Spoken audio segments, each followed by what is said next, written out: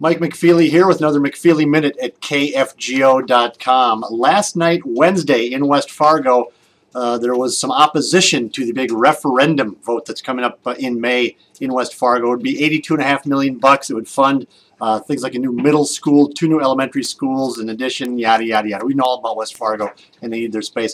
I, I continue to be surprised and frankly disappointed with the voters of West Fargo for not supporting their schools uh, more in West Fargo. We all know it's the fastest growing city in the state. We all know that it's a, it's a monster when it comes to population, uh, and everything else, uh, power in the future of the state of North Dakota. Uh, I think it's time that the city of West Fargo, the citizens there, build their schools. They need them. They have more kids coming down the pike. The numbers have all been shown to the citizens, and yet time and time again there seems to be this resistance, kind of this clinging, as I see it, this clinging to the past that, oh, you know, West Fargo, we're just a little Class B town out here. We're not a big city.